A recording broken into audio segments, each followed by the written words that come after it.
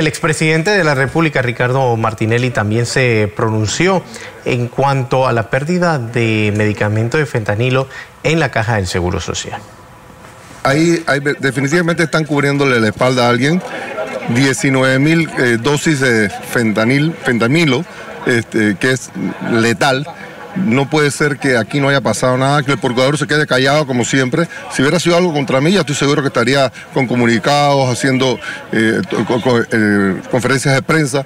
Yo exijo que aquí pueda haber una gran cantidad de muertos y no puede ser que aquí aquí no haya pasado nada. Aquí dicen que hay unos diputados que están involucrados, no sé si serán las mafias, no sé quién, pero tienen que votar a todos y cada uno de los que tuvieron algo que ver en, la, cadena de custodia o que pudieron haberse, haber sustraído esa sustancia ilícita. Ahora, según comunicado, van a hacer rotación ya después de varios meses. No, no, esto no puede ser. Aquí están cubriéndole algo a alguien.